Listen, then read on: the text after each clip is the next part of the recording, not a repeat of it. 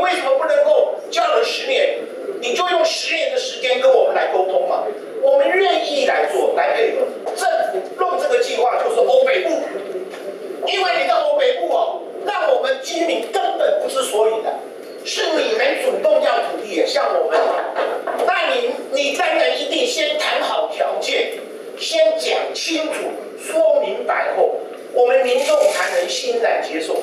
你根本没有讲清楚、说明白，就要大会去背书通过，只是做了一些建议案。请问我们现在提的这些建议案，可以再补大到这些建议吗？持续把它解决，把它沟通，把它追踪。呃，我们是住在古新村，这个地号是零零零五五零零。那我们现在住户的有八成以上的居民，他们是希望说能够配合这个航空城计划，能够。做安置的结果，因为我们现在目前的位置会属于在于住室的位置，而且是倾斜的，那相对对马路对我们未来马路的设施也会有造成影响。那最主要是我们考虑到说，落跑以后可能会面对大概四到五年的工地，就是在空气上的污染，还有再是说我们会经常会造成那个断水断电的问题。我们愿意配合计划，然后配合政府的先建后拆原则。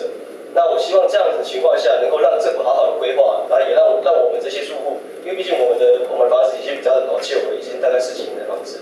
那未来也会遇到这这些问题情况下，我们希望能够给下一代更好的环境。因此，我们现在整体是希望说，能够参与征收。五千村目前没有没有所没有那个安置的土地，它现在只有在原来那如果说政府要做一村一安置跟先建后拆的话，那就必须要先找一块空军的土地做一个先配置，因此我们希望，如果可以的话，那我希望能够在大海村旁边能够做一个安置土地，让我们先做一个先建后拆工作，让我们生活能够没有没有所谓啊，就是没有就是无轨接缝。相对的，我们也非常愿意配合政府的计划。好不容易我把脚步才站而已，现在还封存，还要又来又来又来征收。因为你要征收阮的土地，反正阮拢要毋知影啥，你就讲要征收要征收，啊你要安怎做安怎做？我伫四十二年迄个时阵啊，阮互你征收千二价，你千二价了，即摆是四千外价咯。迄一寡人吼，搬出去吼，逐工去做苦工，家己压头偷养，吼呀，咱本来是住伫遐做菜，做得好好，生活得真自在。火力征收了，邓成放线嘛。在下哈要为我们站在外面自救会好，大概有呃五位，大概就五位而已。他们可不可以进来，坐在后面旁听？我们就单纯的旁听。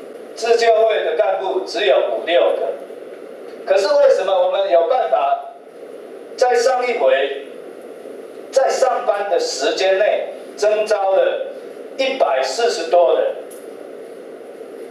我想请问主乡长，你征招过来芦竹乡那边的人有多少是被征收户？反而我们带来的全部都是被征收户哦，连数六百九十九位哈赞成征收啊。你条件说的很好，问题是你做得到做不到？你说一平对分一点二平做得到吗？你说先建后拆做得做得到吗？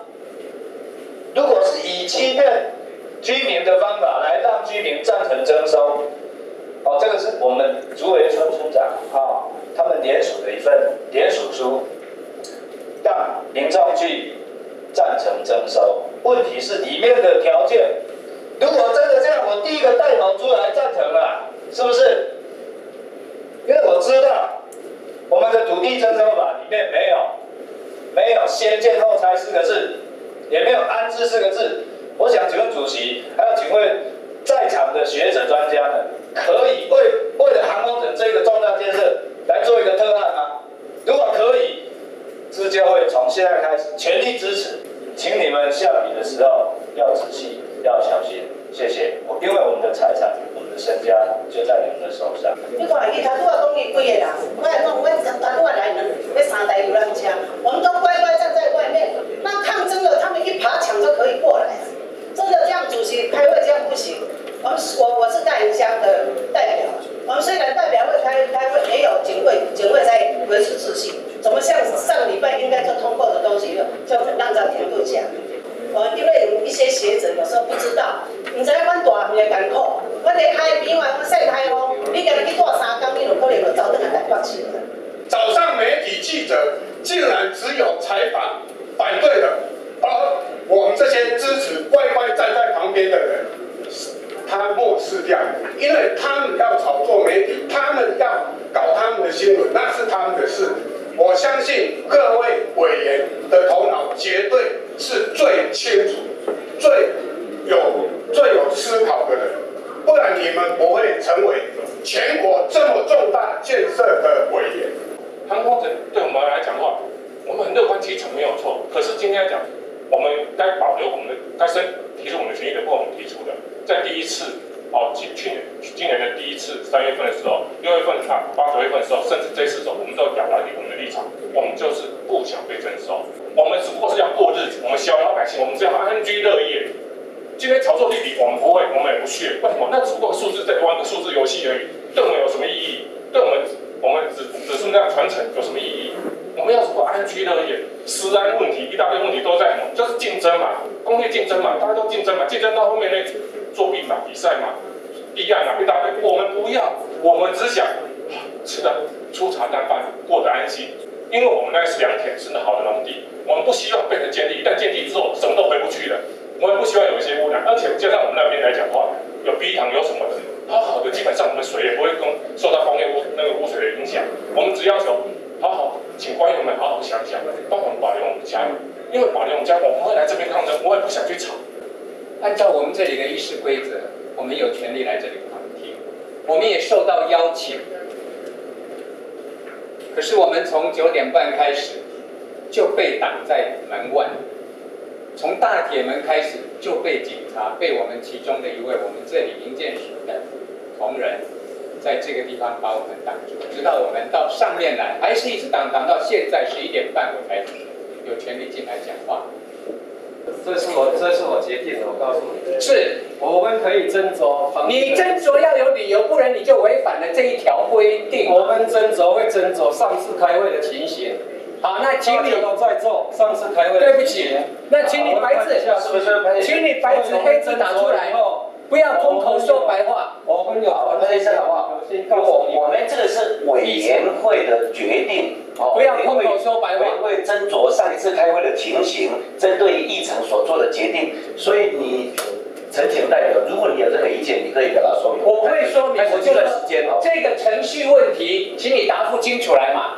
你说你们斟酌，你斟酌的理由你要给我们知道啊，不然你凭什么禁止我们进来？上次就霸占了我们，让了我们整个会议不能开。那你白纸黑字，对不起，你是公家机关，你知道？没有必要，我没有必要。这是你说的嘛？就是你说的。这里写。可是你要给我，你你不准我进来，你要有理由啊，因为我的权利有啊，好吗？你尊重我这个变掉了。你尊重我这个程序好吗？另外这边一个，交主席，先来慢慢你尊重我这个程序好吗？不参加这个团体的。人民为什么会这个样子面对你们？其他什么联管单位？你给我一些基础证明好吗？带我们的朋友进来可以吗？你这个程序要理性，主持证明吗？先建后签的这个问题，那专业小组也都有决议了，那我们也会把第一阶段先建区外安置、区内安置，包括交通部建议的客运园区，桃园县政府建议的八德通达都市计划来新建合一住宅，供拆迁安置户优先选购，好，然后等到这些都选购完，合一安置盖好、安置完了以后，再进行第一阶段的拆迁，后续呢，第二阶段的后迁的啊安置呢，就可以按照这样的文字叙述大道计划书来规定，桃园县政府跟交通部按照这样来执行。我我要特别讲说，这个不是桃园县自己的计划，这个是国家的计划，而且这个是攸关到国家发展竞争力、亚太国际之间竞争的问题啊，所以它它的整个设计应该是国家的格局，而不是一个县政府他自己去规划他需要多少土地的问题。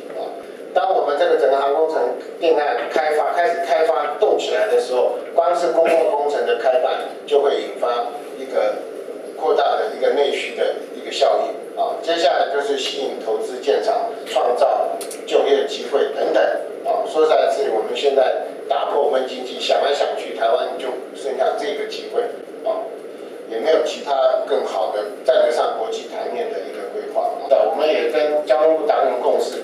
基本上原则上尽量做到能够先建后拆，这个已经是以前的区段征收没有这样子的原则。除了第三跑道以外，我我们没有没有必要说。非拆人家不可，人家愿意就是要留，我们还是要顾及他哈。但是我们认为说，再次公展在讨论的时候，其实是有机会，他们想一想，也许觉得，哎，还是参加比较对了啊。我们其实还有这样的机会你可以打造一个全新的一个都市发展的一个概念模范，给我们其他将来的都市计划做一个参考。我想这个都是国家很重要的目标。我在此补充说明到这边，谢谢大家。